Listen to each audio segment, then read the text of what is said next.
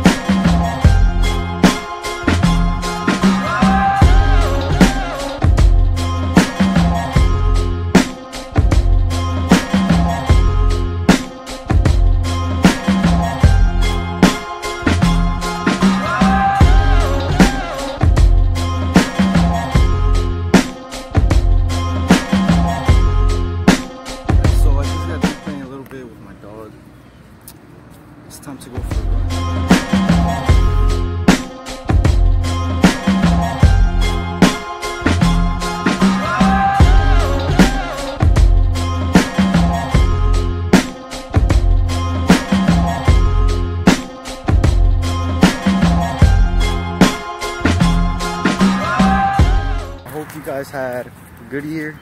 And if this year wasn't your year, well, wish you guys will have a better year next year, 2020.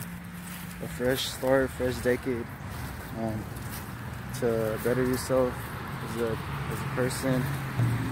Make 2020 your year.